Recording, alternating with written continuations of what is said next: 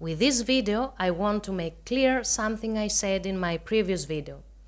The language that has developed in the Hellenistic period and in which uh, the Holy Book of Bible was written, in modern Greek we pronounced it as kini.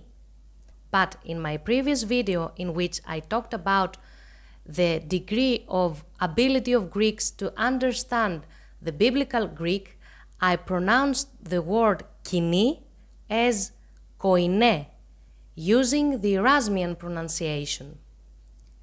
Usually, I don't use the Erasmian pronunciation. If you study in a Greek university ancient Greek, you will notice that the Erasmian pronunciation is not being used.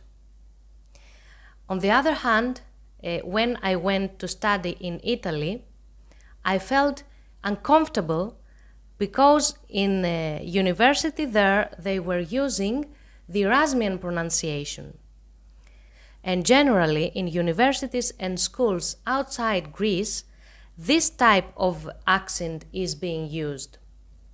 You who want to learn Greek have studied in schools and universities that use this kind of pronunciation, the Erasmian pronunciation.